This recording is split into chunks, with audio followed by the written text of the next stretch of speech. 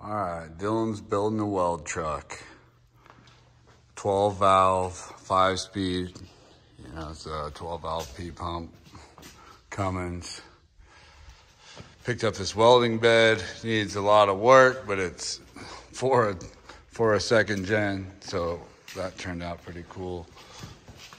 Um, also got his C10 short bed in here. He, uh, put this built 350 in here and he's got a five speed manual. Got my black grill on my truck finally. So we're all blacked out. Looking good. Then we got the K30 outside, three plus three. 454 truck, eats a ton of gas but it's fucking cool for around town. There you go.